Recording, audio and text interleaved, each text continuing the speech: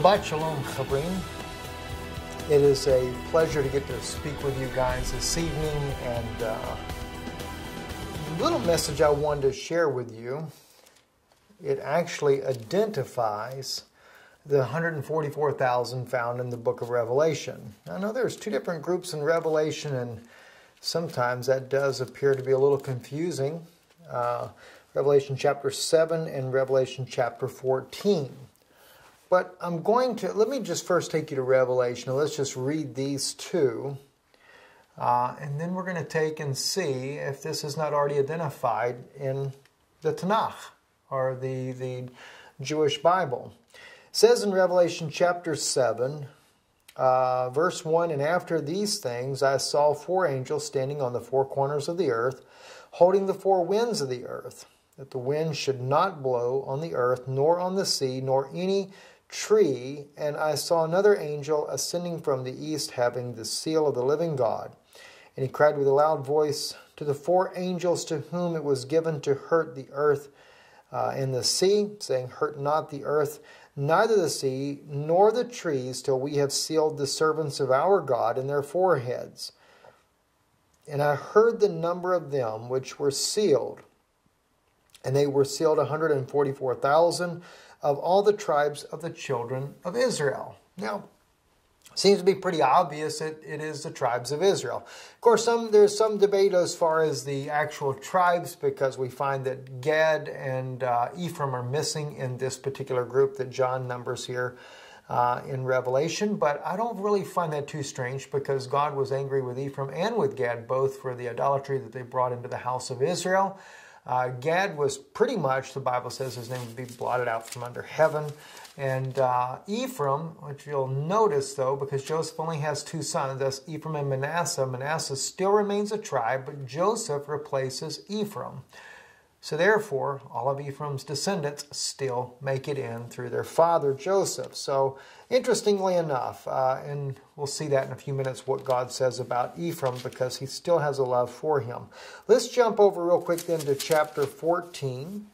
Uh, in this chapter here, verses 1 to 5, we'll look at. It says, And I looked, and lo, uh, a lamb stood on Mount Zion, or Sion, it has in this in the King James here, and with him an hundred and forty-four thousand, having his father's name written in their foreheads. And I heard a voice from heaven as the voice of many waters, and as the voice of the great thunder. And I heard the voice of the harpers harping with their harps, and they sung as it were a new song before the throne and before the four beasts and the elders, and no man could learn that song but the 144,000 uh, which were redeemed from the earth. These are they which were uh, not defiled with women, for they are virgins. There are there are they which follow the Lamb whithersoever he goeth. These were redeemed from among men, being the firstfruits unto God and to the Lamb.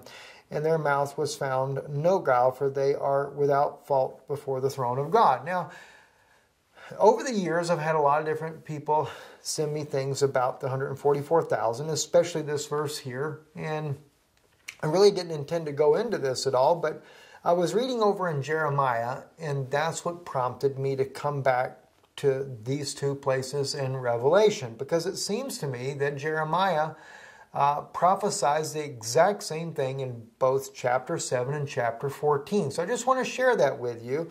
Uh, it is a thought. I, I, don't make it necessarily a doctrine, but just a thought to share with you uh, to see how the Lord deals with your own heart on this. But anyway, it's interesting to note that, that, that these here are marked in their forehead, correct?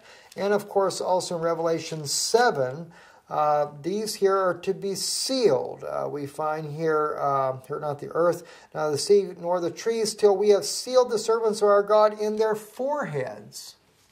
If they're being sealed in their foreheads by the angels, uh, or by the angel that comes, and the, the, and the four angels that are about to bring the judgments of God are not to do anything until these are sealed. So before that great tribulation uh, begins, God's going to seal this 144,000. Of course, in chapter uh, 7 of Revelation, it's clearly 12 tribes of Israel, and they're sealed in their foreheads.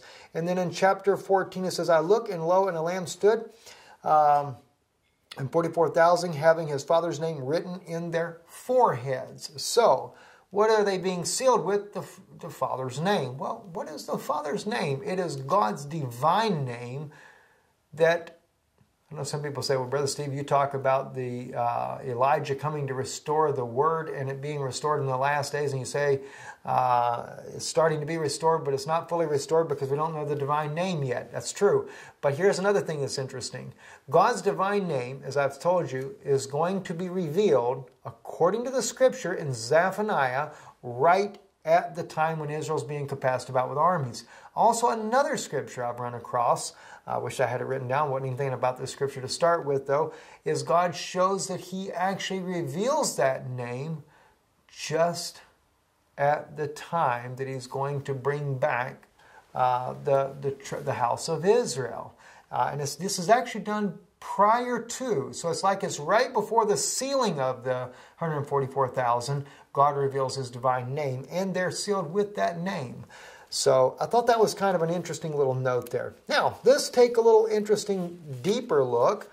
I know because there's a lot of confusion about who they are because it says they're virgins and uh, so they were the uh, these are they which were not defiled with women, for they are virgins. These are they which follow the Lamb whithersoever he goeth. These are were redeemed from among men, being the first fruits unto God and to the Lamb. Now remember, men is mankind.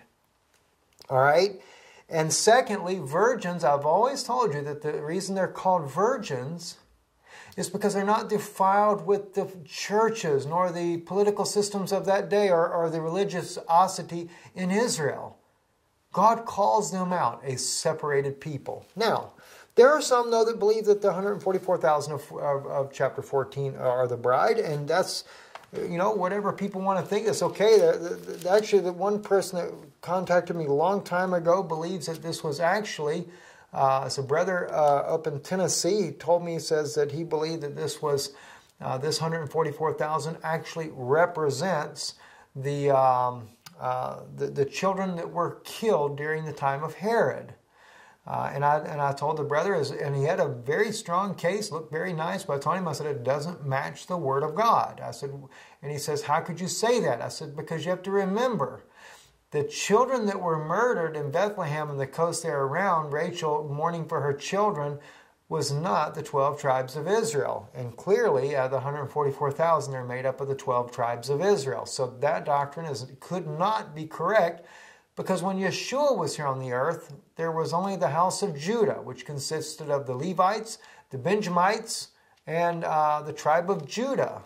So, uh, and the Samaritans, there were not, the house of Israel was not there. Uh, ten of the tribes were, were totally gone altogether. So, anyway, jumping over to Jeremiah chapter 31, says, At the same time, verse 1, saith the Lord, Will I be the God of all the families of Israel.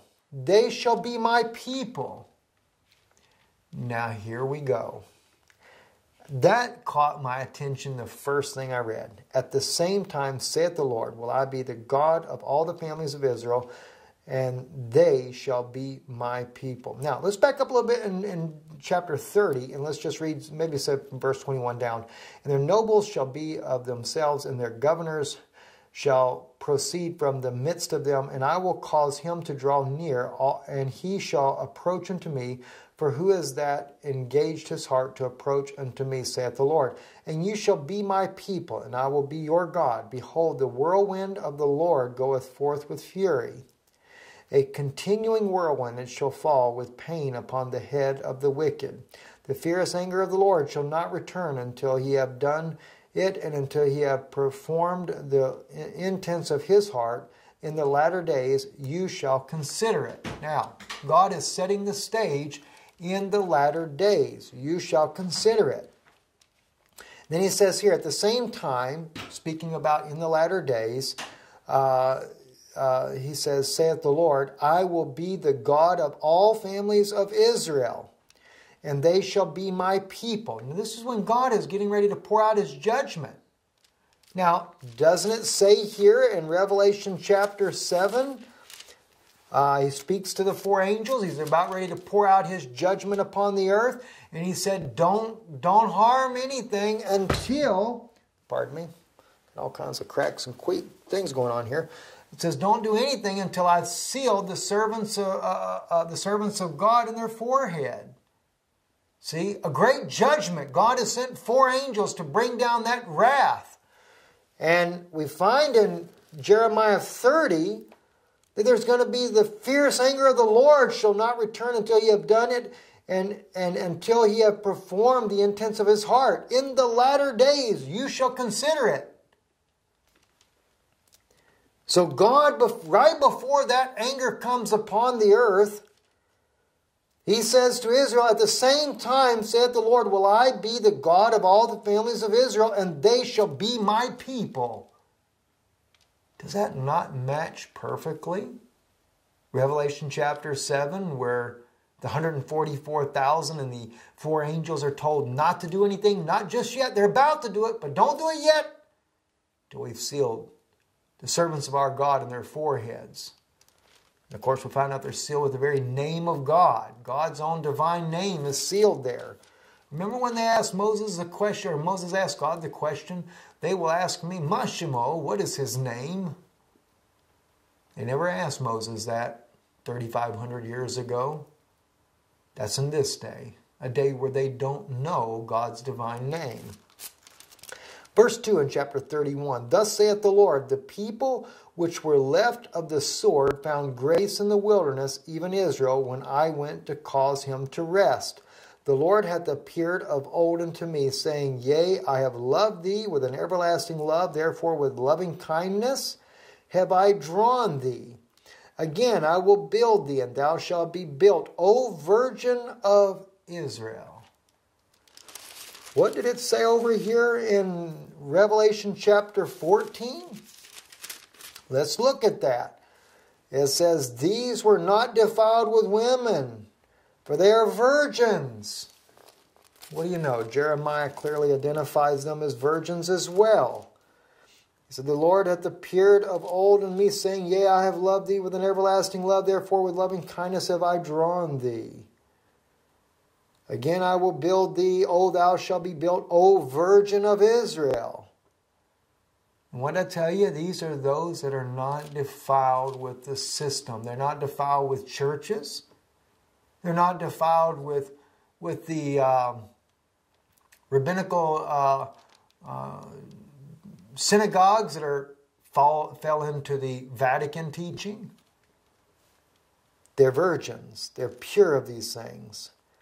Thou shalt again be adorned with tabrets, and shall go forth in dances of them that make merry. Thou shalt yet plant vines upon the mountains of Samaria. The planter shall plant and shall eat them as common things. For there shall be a day that the watchmen upon the mount of Ephraim shall cry, Arise ye, let us go up into Zion to the Lord our God.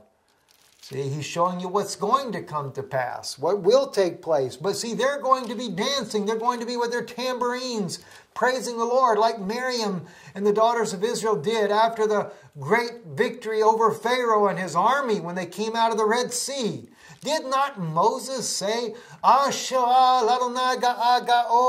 I will sing unto the Lord that I have gotten victory over the horse and over his rider?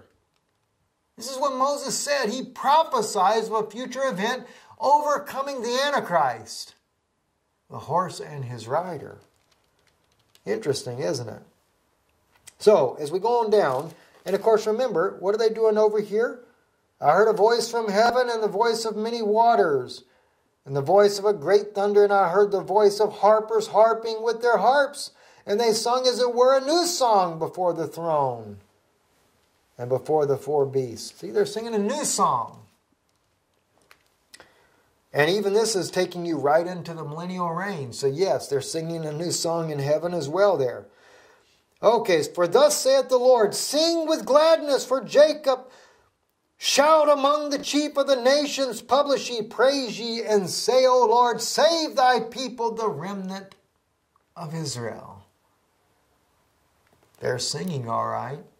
Do we know that song? Do the Gentile people, the Christian people who love the Lord so dearly, who have embraced the Messiah, are they able to know this song? Of course not.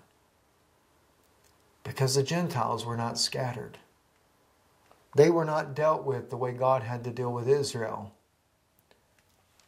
Another interesting verse we'll get to in just a few minutes. Let's kind of quickly finish this up. Behold, I will bring them from the north country, and gather them from the coast of the earth, and them with the blind and the lame, and the woman with child, and her that travaileth with child, together a great company shall return thither. They shall come with weeping, and with supplication will I lead them. I will cause them to walk by the rivers of waters in a straight way, wherein they shall not stumble. For I am a father to Israel, and Ephraim is my firstborn.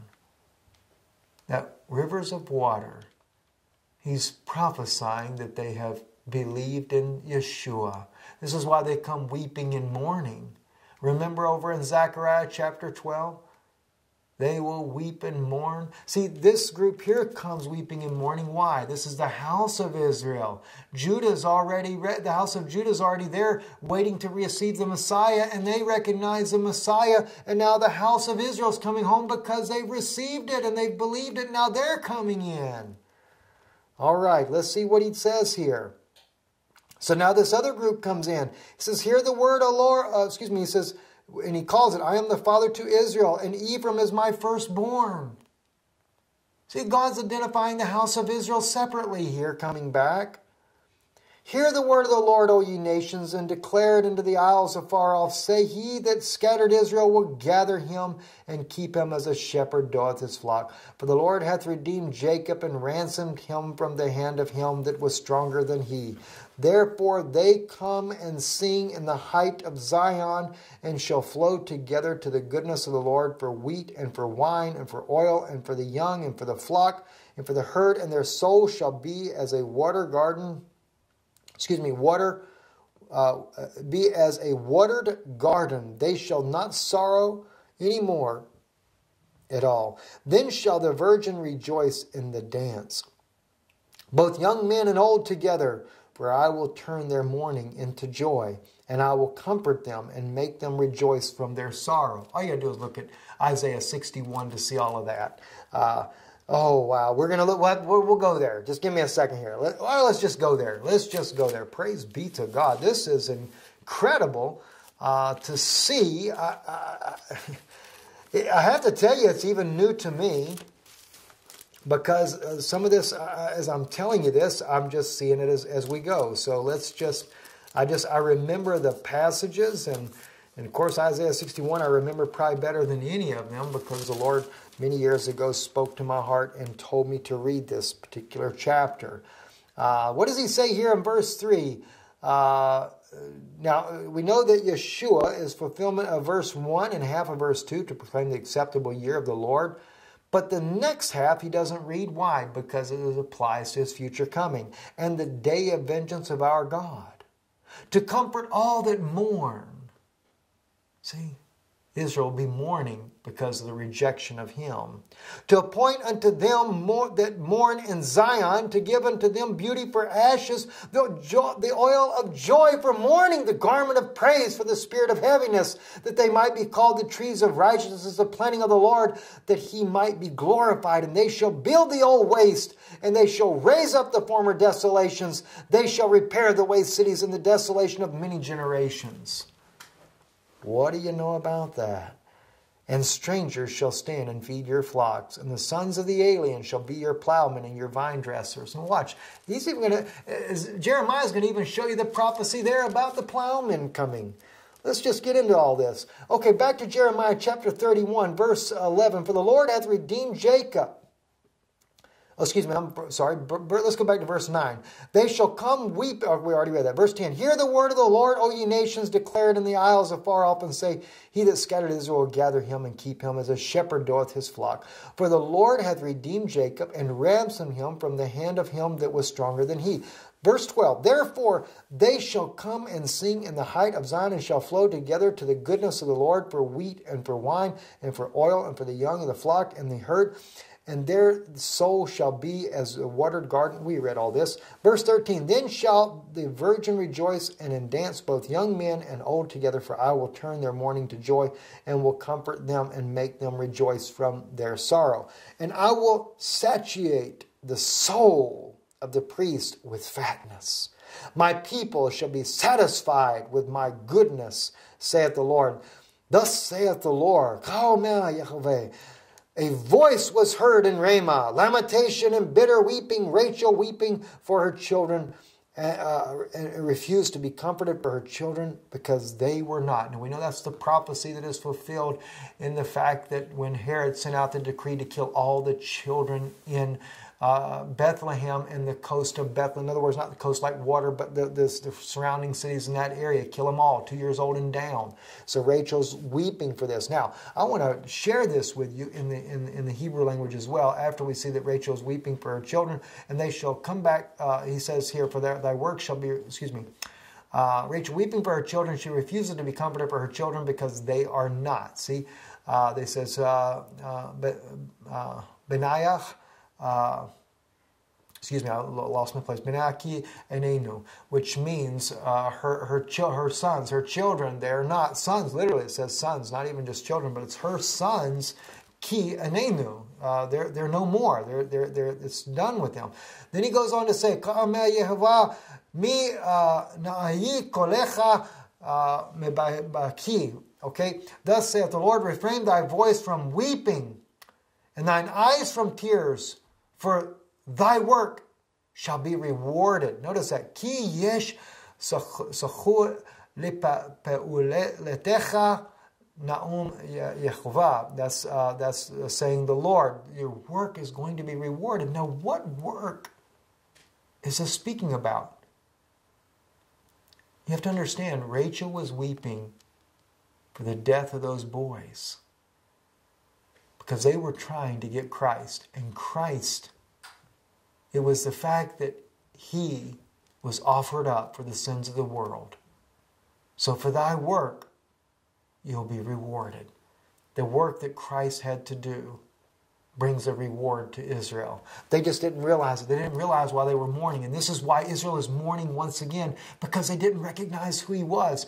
But there is coming a reward because they fulfilled the purpose that God called Israel to do. And that was to offer up Yeshua as the sacrifice for the sins of the world. They're going to rejoice because their mourning turns into rejoicing because they finally, they mourn for what they didn't recognize, but yet at the same time, it was a work that they had to to do, and God rewards them for that work because it brought salvation to not just Israel, but to all the world, all humanity, the Gentile nations. Abraham's a father of many nations, and they come in as a result. What a beautiful prophecy. And that was in uh, chapter 15. Uh, is where he brings that out there. Okay, so let's get back here. I'm going back to the King James Version here. Thus saith the Lord, refrain thy voice from weeping and thine eyes from tears, for thy work shall be rewarded, saith the Lord, and they shall come again from the land of the enemy. And there is hope in thine end, because it looked like there was no hope for Israel, but there is hope in thy end. Saith the Lord, that thy children shall come again to their own border. I have surely heard Ephraim bemoaning himself. Thus in other words, this is what Ephraim was saying when he was bemoaning himself, weeping, in other words, weeping in his own heart. Thou hast chastised me. I was chastised as a bullock unaccustomed to the yoke. Turn thou me, I shall be turned, for thou art the Lord my God. See, Ephraim even repented of the evils that he did. Surely after that I was turned. I repented, and after that I was instructed. I smote upon my thigh. I was ashamed, yea, even confounded, because I did bear the reproach of my youth. And that's exactly what the house of Israel has done. They bore in their own bodies and lives the reproach of Ephraim. Somebody recently wrote me about Ezekiel, the valley of dry bones. Oh, gosh, I did do a message on that. It reminds me of this here. All the Holocaust ditches that no doubt Ezekiel saw. Okay, verse um, verse 20. Is Ephraim my dear son? Remember, God was done with Ephraim. He said, Let him alone. He's given over into strange gods. But then God says here through the prophet Jeremiah, Is Ephraim my dear son? Is he pleasant? Is he a pleasant child? For since I spake against him, I do earnestly remember him still. Therefore my bowels are troubled for him. I will surely have mercy upon him, saith the Lord. Set thee up wayward marks the high, high heaps. Set thine heart toward the highway, even the way which thou wentest. Turn again, O Virgin of Israel. Turn to these thy cities. Again, God refers to Israel as a virgin. Remember, it's all the families of Israel. How long wilt thou go about, O thou backsliding daughter? For the Lord hath created a new thing in the earth. A woman shall compass a man. That's an interesting one. Thus saith the Lord of hosts, the God of Israel, As yet they shall use this speech in the land of Judah and in the cities thereof, when I shall bring again their captivity. The Lord bless thee, O inhabitation of justice and mountains of holiness, and there shall dwell in Judah itself and in the cities thereof together husbandmen and they that go forth with flocks. Remember Isaiah 61? The sons of the alien? What does it say here? Let's go back and look at that again gives them that garment of praise and everything. He says, Then they shall build the old waste, and they shall raise up the former desolation, they shall repair the waste cities. Verse 5 And strangers shall stand and feed your flocks, and the sons of the alien shall be your plowmen and your vine dressers. And here we see it with his, I told you Jeremiah would speak about this. And he says it right here in Jeremiah chapter 31 Verse 24, and there shall dwell in Judah itself and in, all, and in all the cities thereof together husbandmen, and they that go forth with flocks, for I have satisfied the weary soul, and I have replenished every sorrowful soul. Upon this I awaked and beheld, and my sleep was sweet unto me. Behold, the days come, saith the Lord, that I will sow the house of Israel and the house of Judah with the seed of man and with the seed of beast. And it shall come to pass that like as I have watched over them to pluck up and to break down and to throw down and to destroy and to afflict, so will I watch over them to build and to plant, saith the Lord. He restores both the house of Israel and the house of Judah. Now, I had a dear friend uh, some time back. We used to kind of didn't really get to debate personally, but we know that we had differences on this particular issue because he always felt that, that God does not restore Israel as a nation until God himself brings them home, and I differed with him. Of course, always showed him the reason Israel's a nation right now is not because both houses have been returned, but the house of Judah was prophesied to come back first, according to Zechariah chapter 12 clearly the house of Judah. The family of David, the family of Nathan, the family of Shimei, and the family of Levi and those families that remained. That is clearly the house of Judah. David and Nathan were from the tribes of Judah. Shimei was a Benjamite from the tribe of Benjamin. The Levites naturally from the tribe of Levi. The families that remained are the Samaritans that still were there in Israel when the, when the house of Judah came back home. And of course, Shimei represented that very one that spit on David when he was going out of the city and cursing him, just as Israel cursed Yeshua uh, 2,000 years ago and spit on him when he was leaving. And as David said to his own soldiers, let him alone. The Lord taught him to do this. Jesus said the same thing to Peter and them. He says, put your sword away. Could I not straightly call 10 legions of angels and God would send them right now? My Father would send them now. So, anyway, so many prophecies being fulfilled, and clearly you can see everything in Revelation, both in chapter 7 and chapter 14, clearly is identified in here the harps, the singing, the sealing, uh, the virgins, uh, everything that you want to see, it clearly identifies. Uh, is clearly identified in Jeremiah chapter 31, also in Isaiah 61, uh, just linking that together in Zephaniah. And as well, you know, the house of Israel, I used to wonder that myself. When does the house of Israel actually come home? It will be right at the time that the house of Judah has recognized that Yeshua is Messiah. You have to remember, God has to deal with the house of Judah first because they were the ones that handed him over to the Romans. It wasn't the house of Israel. But the house of Israel comes mourning as well because of their own sins and what caused them to go in, into exile. So they come mourning, but all the mourning is turned to joy. And they're the ones that sing the new song. And they have their father's name written in their forehead. The angel that went forth to seal them See, that, that's another interesting point there. Let's just look back at that one more time in Revelation 7. And I saw another angel ascending from the east, having the seal of the living God. And he cried with a loud voice to the four angels to whom it was given to hurt the earth and the sea, saying, Hurt not the earth, neither the sea, nor the trees, till we have sealed the servant, servants of our God in their foreheads. Now it's funny. He says, I saw another angel. Only one angel was coming, but he says, until we have sealed. See, only one angel comes, and I saw another angel ascending from the east. All right? He tells the four angels, don't do anything. He says, say, not hurt not the earth, neither the sea, nor the trees, till we have sealed the servants of our gods in their foreheads. Figure that one out. I got some ideas, but you figure that one out for me. Anyway, God bless you. I love you guys. Shabbat Shalom.